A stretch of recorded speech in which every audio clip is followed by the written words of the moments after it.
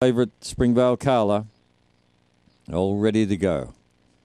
They're off. She came out very slowly, and Zero Knockin was easily the best to begin. From Chopsticks away well and railing up Bamalem Barney. Further back in the field, zipping Hondo, and Springvale Carla was two away last. Out of the straight they go.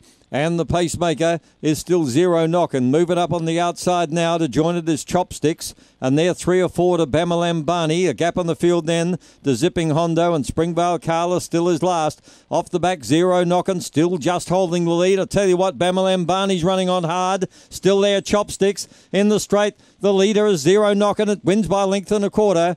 Two and second placing chopsticks. Third, Bamalam Barney was close for fourth between Zipping Hondo and Springvale Carla, probably Springvale Carla, and they run 35.07. Zero Knockin all the way. Second, seven chopsticks. Third, two, Bamalem Barney. And uh, fourth was one, Zipping Hondo. So the favourite ran last, Springvale Carla. 883, 2166. On the run home, 13.41. It was one and a quarter by three quarters.